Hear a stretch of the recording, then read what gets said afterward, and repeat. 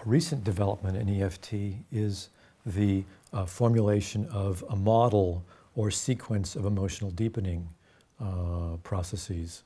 And um, this is a, an attempt to integrate uh, some of the complexity of EFT.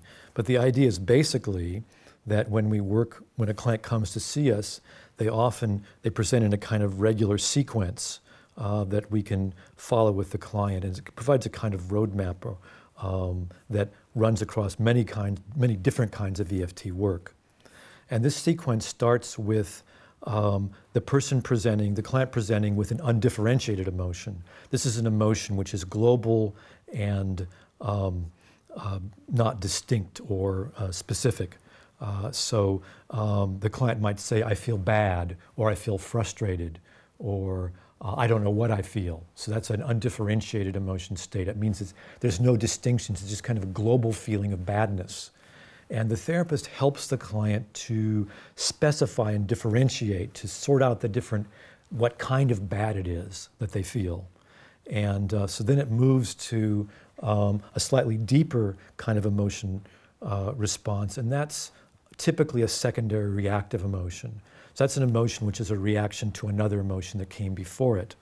And this secondary process is also often the symptoms that clients bring to therapy, you know, whether they're depressed or anxious or um, um, having post-trauma difficulties or, or what have you. So the presenting problems that clients bring, their symptoms are often secondary reactive emotions.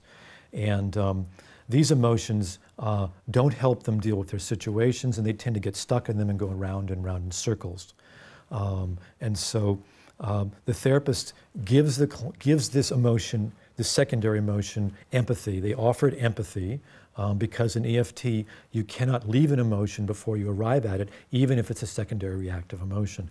So it gets empathy, and, but the therapist is listening and helping the client listen to what's underneath or what came before this symptomatic emotion.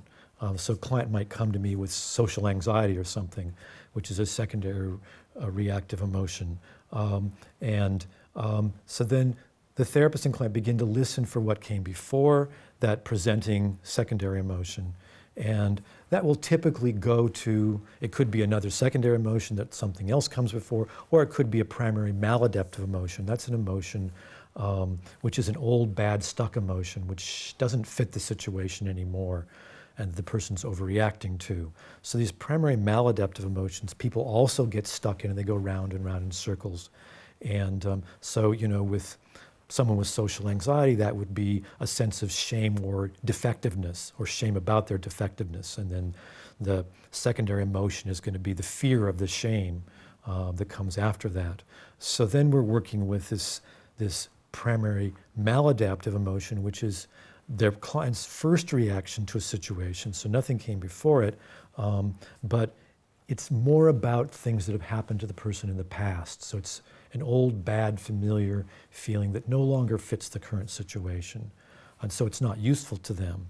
And people do get stuck in these. And so the therapist and client work with this. And again, the client has to arrive at this emotion, fully experience the sense of shame or brokenness, for example, in the case of social anxiety. Um, and then there's a kind of deepening process. Uh, and um, one of the part of this emerging model in EFT is the idea that we help the client to identify in the primary maladaptive emotion their core pain. That's the thing that hurts the most, that the thing at the deepest level of them feels most painful or difficult for them, that they struggle with. And it's often a sense of being broken, a sense of being lost and lonely and abandoned, uh, feeling unlovable. Um, and this, this, this core pain um, then um, what we do in EFT therapy is we then say, what does that pain need? What does that pain need?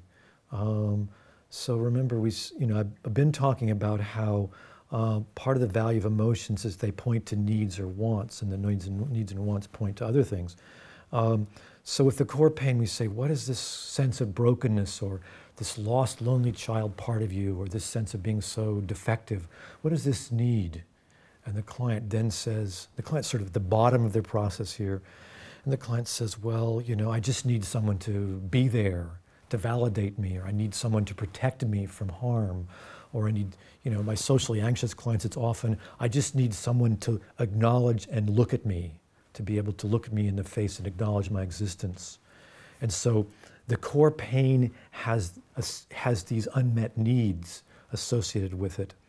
And as the client begins to access the core pain and the unmet needs that they point to, we then say, okay, so what would meet that need? And the thing that would meet that need is a different emotion. So, with a sense of, of being exposed and vulnerable, uh, it would be protective anger. With a sense of being unlovable and alone and abandoned, it would be compassion or love. Um, and so, there's another emotion um, that's implicit in the unmet need that's comes out of the core pain. And so what happens is the client basically bridges from the primary maladaptive emotion to an adaptive emotion through this the unmet need associated with the core pain.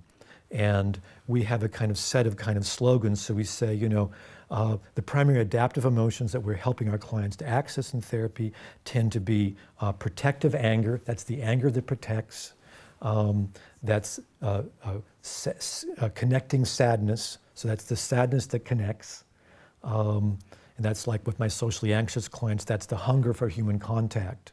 And that sadness of missing out on being with other people and being close to other people. So we have this, uh, as I said, protective anger that's particularly useful for trauma. We have protective sadness, uh, sorry, connecting sadness uh, that's more for, say, something like social anxiety or depression, the, the sadness that connects. Um, and then there's compa- self compassion. Um, we often help the client access a part of them that, that uh, loves and cares and protects and supports the part that's feeling so wounded and injured. So we help the client to access in themselves these, this self-compassion, and that self-compassion is going to transform that uh, the stuck primary maladaptive emotion. And there are other emotions too. There's love, there's curiosity, there's humor, and these different emotions uh, are all emotions that we help our clients to access. They're primary adaptive emotions that fit the current situation, and they help the clients to transform uh, the primary maladaptive emotion.